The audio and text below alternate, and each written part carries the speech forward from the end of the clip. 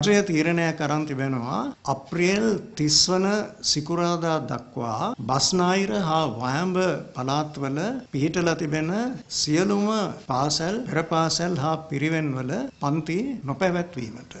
අපි ඉතාමත් ඕනෑකමින් අපේ දෙමව්පියන්ට දූදරුවන්ට කියන්ට කැමති විවෘත කරලා තිබෙන පාසල් තුළ සෞඛ්‍ය නිර්දේශ අකුරටම පිළිපැදීම අතිශයෙන් වැදගත් කියලා.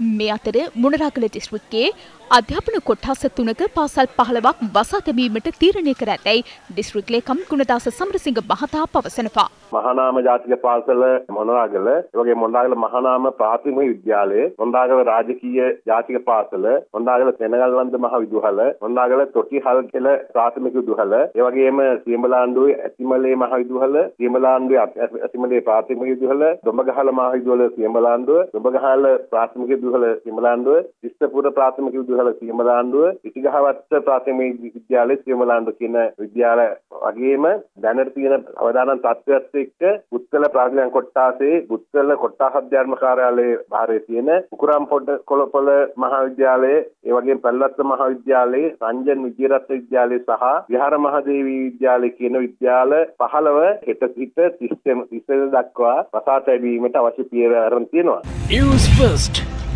එක් අරමුණක් වෙනුවෙන් YouTube ග්‍රාහකින් මිලියනයක් සමඟ නොනැවතී ඉදිරියට